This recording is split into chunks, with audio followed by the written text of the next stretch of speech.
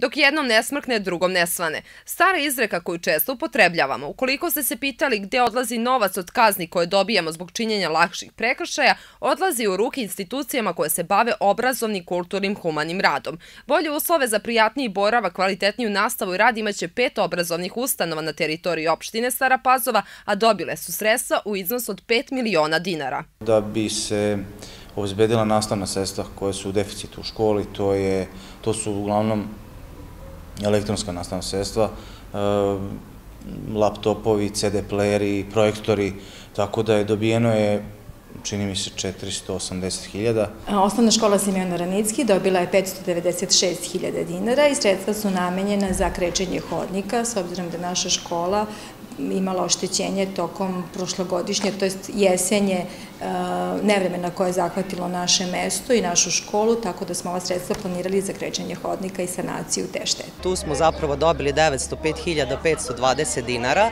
E, sa tim novcem ćemo opremiti sedam učionica, dakle u pitanju je školski nameštaj, đačke klupe, stolice, e, nastavničke katedre, stolice i tablo. Nakon prošlogodišnjeg konkursa gde mi novac bio odobren za nabavku novog nameštaja, ove godine ekonomsko-trgovinska škola je mislila na bezbednost učenika i nastavnog osoblja. Ove godine smo konkurisali za video nadzor ovaj, i opet smo dobili sredstva po tom konkursu i sad sledi ona procedura e, vezana za javnu nabavku, znači da se sve odradi kako treba zakonski, tako da ćemo pokriti i e, naš deo zgrade sa e, kamerama, videonadzorom. U spomenute škole novac je dodeljen i školi za osnovno i srednje obrazovanje Anton Skala za realizaciju projekta Asistivna škola u iznosu od 2 miliona i 130 hiljada dinara. Ovo je bio treći konkurs Ministarstva pravde na kojem je bilo prijavljeno 1336 projekata, a sredstva će biti raspoređena na 130 korisnika.